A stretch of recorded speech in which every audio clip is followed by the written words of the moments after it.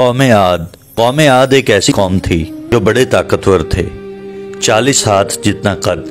800 से 900 साल की उम्र। ना बूढ़े होते, ना बीमार होते। ना दान टूटते, ना नज़र कमज़ोर होती। जवान, तंदुरुस्त और तवाना रहते।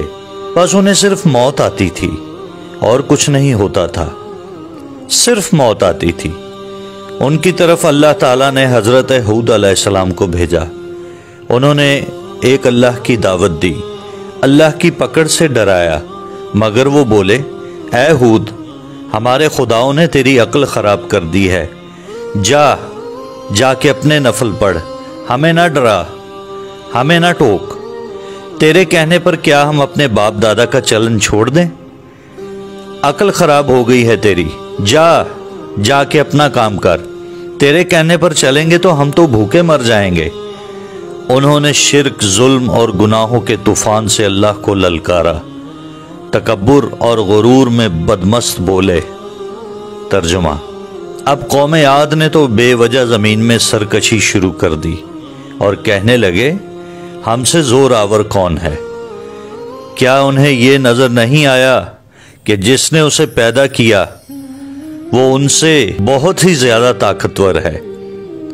वो आखिर तक हमारी आयतों का इनकार ही करते रहे। कोई है हमसे ज़्यादा ताकतवर तो लाओ। हमें किससे डराते हो? अल्लाह ने कहत भेजा। भूख लगी, सारा गल्ला खा गए। माल मवेशी खा गए। हराम पर आ गए। चूहे, बिल्ली, कुत्ते खा गए। सांप खा गए। दरख्त गिराकर उसके पत्ते खा गए। भूख ना मिटी। न बारिश हुई, न कतरा गिरा, न गला उगा। फिर तंग आकर अपना एक वफ्द बैतुल्ला भेजा। उनका दस्तूर था, जब मुसीबत आती तो ऊपर वाले को पुकार उठते। जब दूर हो जाती तो अपने बुतों को पूजने लगते। बैतुल्ला वफ्त गया और कहा, हमारे लिए अल्लाह से दुआ करो कि बारिश बरसाए। अल्लाह ने तीन बादल पेश किए, काला, सफ़ेद, सुर्ख। अल्लाह ने फरमाया, इनमें से एक का इंतखब करो। उन्होंने आपस में मशवरा किया कि सुर्ख में तो हवा होती है, सफ़ेद खाली होता है, काले में पानी होता है, काला मांगो। अल्लाह ताला ने कहा, वापस पहुंचो, बादल भेजता हूँ। वो खुशी खुशी वापस आए। सब लोग एक मैदान में जमा हुए, बादल आया। वो नाचने लगे कि अब बारिश होगी, कहत मिटेगा, खाने को मिलेगा। क्या पता था कि वो बारिश नहीं, बल्कि अल्लाह का अजाब है। जो तुम हूद से कहते थे कि ले आ, जिससे हमको डराता है, उस बादल में ऐसी तंदो तेज हवा थी कि जिसने उनको उठा मारा, उनके घर उखाड़ दिए, और लोग तिनकों की तरह उड़ रहे थे। हवा उनके सरों को टकराती थी, इतनी ज़ोर से टकराती थी कि उनके भेजे निकल निकल कर मुँह पर लटक गए थे। बाज लोग भागकर गार में घुस गए कि यहाँ तो हवा नहीं आ सकती, मगर मेरे रब का हुक्म होकर रहता है। हवा गार में बगोले की तरह दाखिल होती और उनको बाहर उठाकर फेंक देती।